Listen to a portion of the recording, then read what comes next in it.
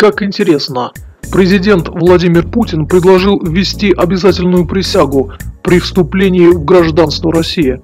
Об этом он заявил на встрече со спикером Госдумы Вячеславом Володиным, говорится на сайте Кремля.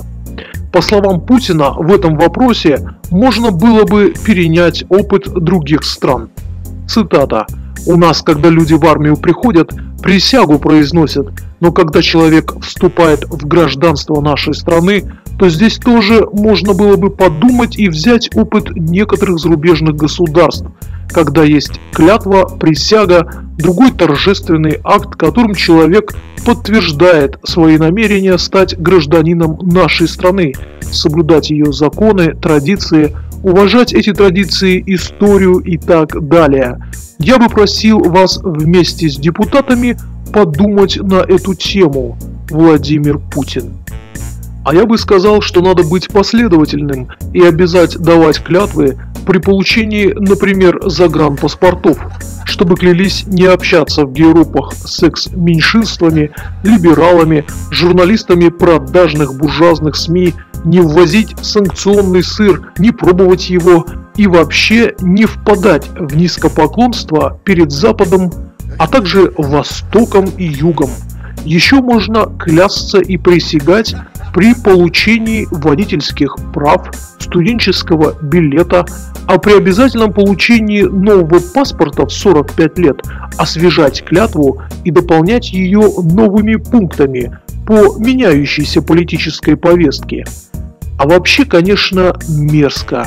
Я понимаю, что имеется в виду в первую очередь американский опыт – но как же погано, когда других людей требует присяги человек, нарушивший свою президентскую присягу по большей части пунктов.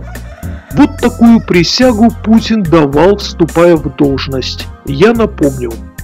Клянусь, при осуществлении полномочий президента Российской Федерации уважать и охранять права и свободы человека и гражданина соблюдать и защищать Конституцию Российской Федерации, защищать суверенитет и независимость, безопасность и целостность государства, верно служить народу. Конец цитаты.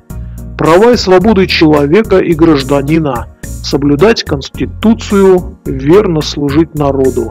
Ага, про целостность и безопасность тоже интересно в свете продажи островов на Амуре Китаю, капитулянской политики в китайском вопросе и в свете двух войн, одна из которых поссорила нас навсегда с огромной соседней страной, а другая подставила Россию под новые террористические удары. За чтение Конституции вас могут арестовать и закрыть на несколько суток вас могут посадить в тюрьму за то, что вы гуляете по улицам Москвы. Вам могут ворваться и вырезать дверь болгаркой, потому что вас в чем-то подозревают, а потом выпустить и не извиниться. То, что створится во времена правления Владимира Путина, это не лезет ни в какие ворота. Такого воровства в таких масштабах не было никогда.